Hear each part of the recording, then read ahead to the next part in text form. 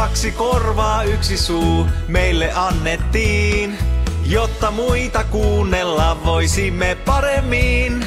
Ei suuna päänä tarvitsekaan olla äänekkäin. Kaksi korvaa, yksi suu, eikä toisinpäin. Niin metsä vastaa takaisin kuin sinne huutelee. Ja monet riidat välttää voi, jos hetken kuuntelee. Vaan joskus aivan vahingossa toinen harmistuu. Kun heti pyytää anteeksi, niin riita unohtuu. Kaksi korvaa, yksi suu meille annettiin. Jotta muita kuunnella voisimme paremmin. Ei suuna päänä tarvitsekaan olla äänekkäin. Kaksi korvaa, yksi suu, eikä toisinpäin.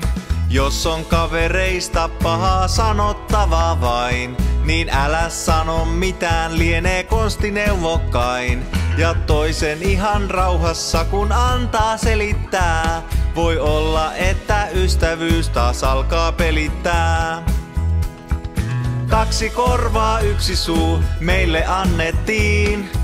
Jotta muita kuunnella voisimme paremmin. Ei suuna päänä tarvitsekaan olla äänekkäin. Kaksi korvaa, yksi suu, eikä toisinpäin. Kaksi korvaa, yksi suu meille annettiin. Jotta muita kuunnella voisimme paremmin. Ei suuna päänä tarvitsekaan olla äänekkäin. Kaksi korvaa, yksi suu, eikä toisinpäin.